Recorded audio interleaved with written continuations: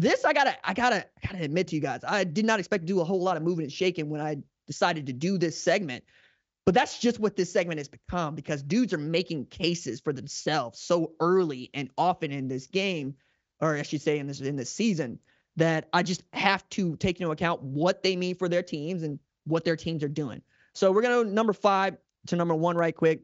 Uh, number five, I've got Darrius Shepherd, who was the XFL uh, Special Teams Player of the Year for the Battlehawks also doing pretty outstanding work for them uh, this year. He leads the league in all purpose yards. He's also the only guy in the UFL to have over 300 yards uh, uh, kick return, 80 yards receiving or punt return, and 100 yards, uh, excuse me, 100 yards receiving or 80 yards punt return. So he's getting it all in. Also, if Darrius Shepherd means something to you, it's because he played North Dakota State, won three national championships, right? People talking about Trey Lance probably should have been talking about Darrius Shepherd. Number four on the list for me, uh, DC Defenders quarterback Jordan Ta'amu, who was the XFL Offensive Player of the Year last year. It doesn't feel like they win football games if Jordan Ta'amu is not their quarterback at DC. Full stop. Like he has been so responsible for what Fred Kise can do with that offense, especially since they can't run the ball. Like they had Abram Smith lead all of spring football last year, frankly, in rushing, and he's not there. And yet and still, they're still finding ways to win because Jordan Ta'amu is back there throwing passes. Number three on the list, I got Michigan quarterback EJ Perry, who put together what I thought was the best performance again that he's had since he joined the Michigan Panthers last year. Uh, 16, uh, what 16 and 19 for 208, 60 yards uh, rushing, and then three total TDs in that. Also, not afraid of the check down, right? Like I I enjoy how much Joel Klatt loves to talk about quarterbacks, but nothing makes him angrier than forcing a throw. and I always get a kick out of it. So when I saw EJ Perry check the ball down five yards to Marcus Sims, and then Marcus Sims turn around break six tackles on the way for a 66 yard touchdown. I'm going, that's Joel's guy right there.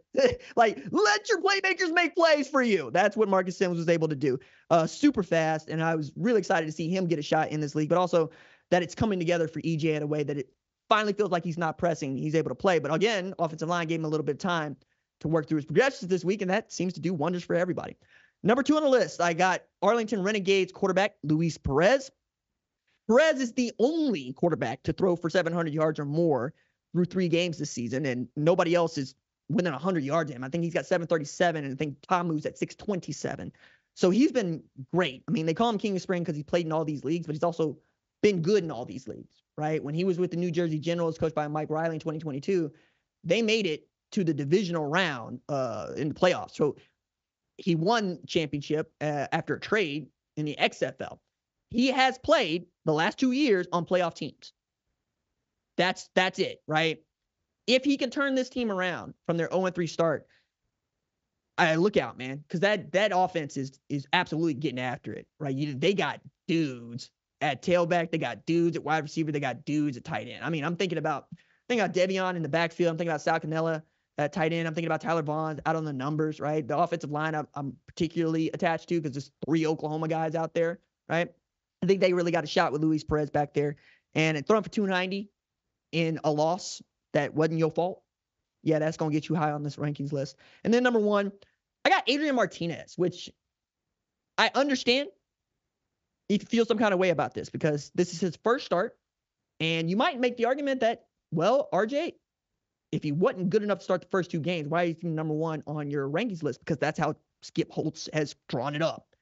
I think if you give Adrian Martinez the same opportunities you give Matt Corral, you're probably going to get these results because the results are 344 passing yards and like 60 yards on the ground, leading the entire league in rushing, even though you only started one game and having the first 300 yard pass performance in the history of the UFL.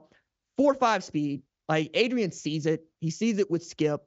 Uh, this offense feels very much his skill set, the one that we got to see when he was outstanding at Nebraska. And even through the first few weeks at Kansas State before he had to go out with that injury. I think this is a great spot for him. And I really think that if you're going to make a decision in your Skip Holtz, this is the guy.